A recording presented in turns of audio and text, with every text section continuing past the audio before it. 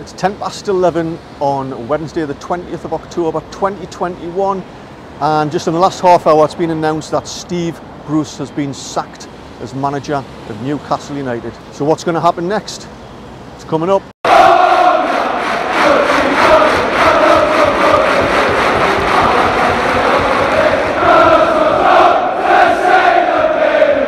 Hello, my name's Eddie. Welcome to my channel Tyneside Life. And at the minute, Tyneside Life is all about Newcastle United. So if you're new to the channel and you want to be kept up to date with what's going on, make sure you hit the subscribe button so every time I release another video, you'll be instantly notified. So there we have it. At last, Steve Bruce has been sacked as manager of Newcastle United. Not before time.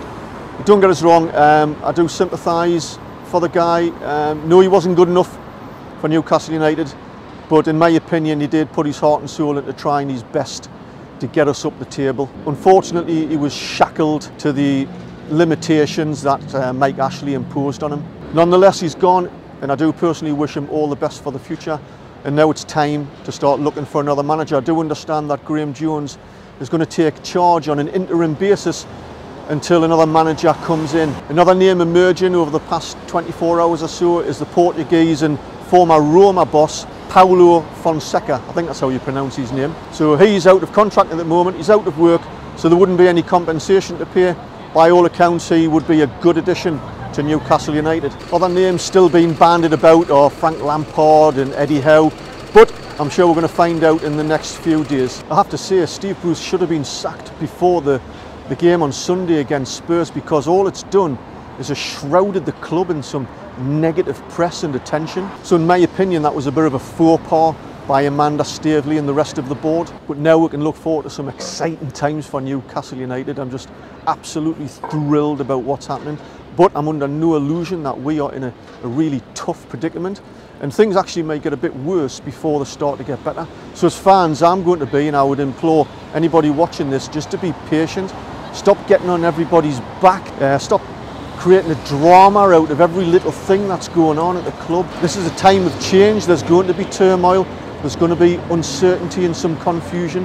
But I'm absolutely convinced, you know, that over the next two or three months, we're going to start to turn this ship around and then start and move up the table. But it's going to be a long, hard slog. And what the club need is our support. Look, we've just heard in the past half an hour or so that Steve Bruce has been sacked. How do you feel? Oh, I'm over the moon. I was we've been through this long run of where we've had no like wins, nothing, no motivation to do anything, and we're finally going to get something. It's what we've wanted for ages. So, who do you personally think um, might be put in as a manager, or who would you want? Um, I'm not really sure to be fair, because there's quite a few names being put up, but I've seen like the likes of Wayne Rooney and all that, but we're not too certain on those sort of players some managers. I've heard the, the former Roma boss Paulo Fonseca's been linked. Do you know much about him? Yeah, hopefully it would be a good one to have. He's quite a good manager as well. Exciting times though, eh? Yeah, I'm really I'm over the moon. So there you have it. Outside St James's Park, hot off the press, Steve Bruce is sacked. So if you like this video, like I said, make sure you hit the subscribe button. Give us a like if you like the video. Tell us what you think in the comments below about who you think should or might become the next manager. And until next time, see you soon. If you'd like to see more videos like this and be notified the moment I release the next one, make sure you hit the subscribe button.